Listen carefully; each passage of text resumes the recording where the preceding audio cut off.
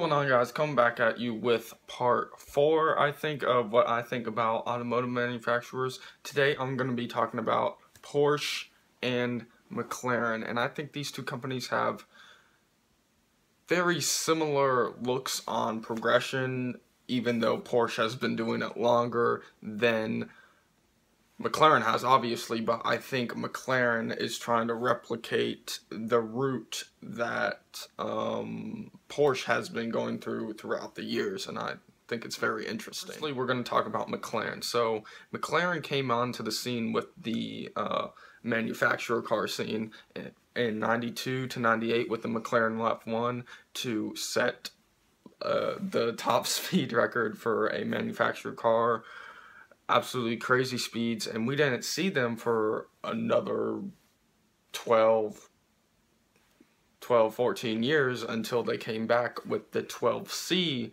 in 2010, 2011. Yeah, 2011. They made that car from 2011 2014. That was their first really production car other than the F1, which they only made 100 units.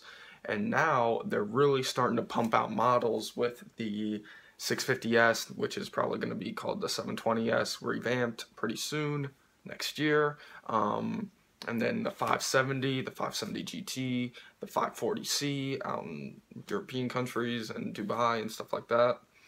And the other special edition models that they're coming out with.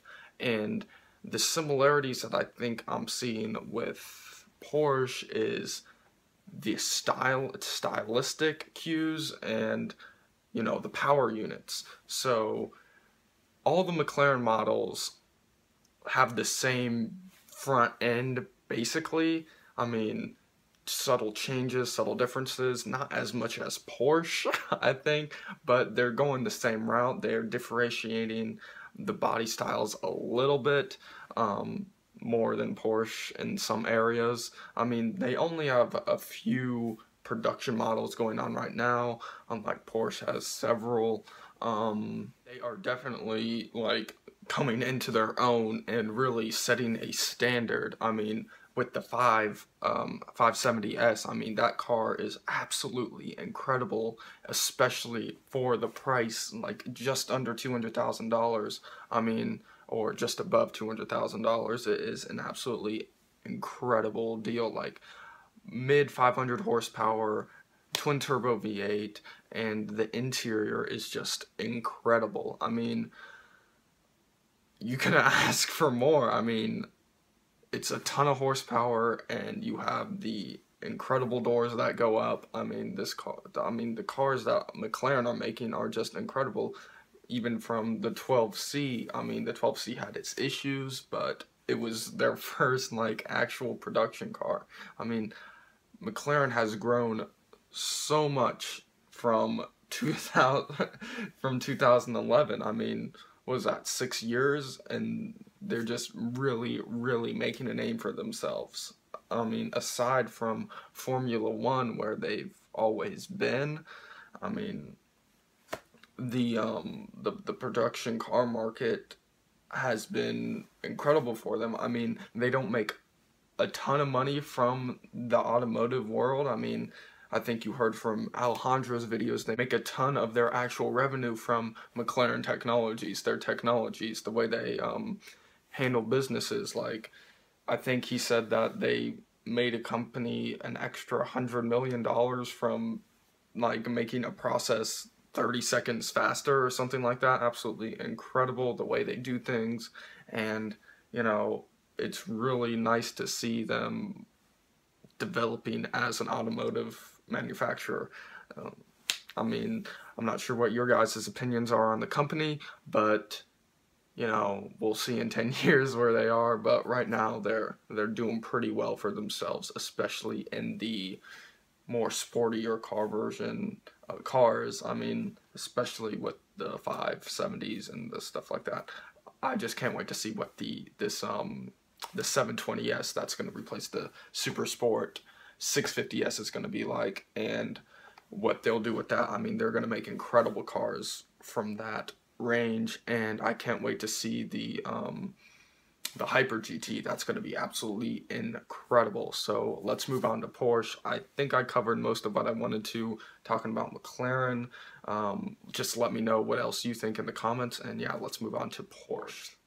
Absolutely incredible car company. We all know this. I mean, people say they all look the same, but I beg to differ. I mean, they've come out with legends like the 959, the CGT, the Porsche 918 Spyder, the GT3 RS, the GT3 RS, the whole GT3 line, the whole mm-hmm. GT line is absolutely incredible, what they're known for, and let's get into it. For the most part, in for the most part in all Porsche models, they use a they have used a flat six or a twin turbo flat six to produce from around like 300 horsepower to I think the most it's produced is well over 500 maybe 600 horsepower in like the turbo s's and stuff like that. And in the gt3 rs it produces around 500 horsepower. Absolutely insane. And the thing is they've been doing this same thing for so many years just perfecting on something that's supposed to not work. Like this type of style the um, rear mounted engine is supposed to be not very well in any circumstance and they've just kept working at it and making it one of the best driver's cars you can buy. The GT3 even the Boxster is an absolutely incredible car just to whip around because it's been perfected so much. I mean the German engineering is absolutely incredible I think throughout the years how much they perfected something that's imperfect.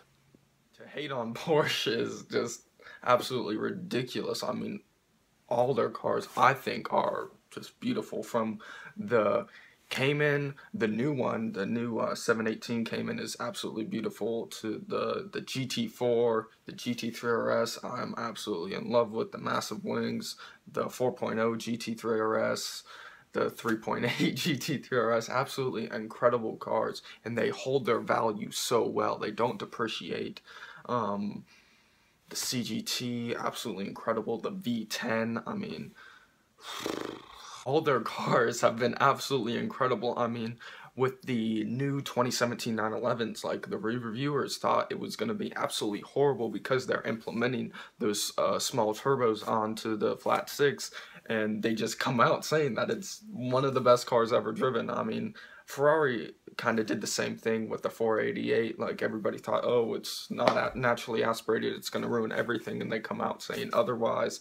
I mean, you're not going to put out a product that's not good, and I think these um, reviewers are seeing that. Like, oh, even though like we're purists and we want what we thought was great 10 years ago, what they're putting out now is still absolutely incredible. I still go back and look at Porsches that I see driving on the road from the 80s and 90s, early 2000s, not much early 2000s, but like the 70s, 80s, 90s. I mean, these are beautiful cars. I mean, I love the classic Porsche design, and then I look at uh, models from 2010, 2015.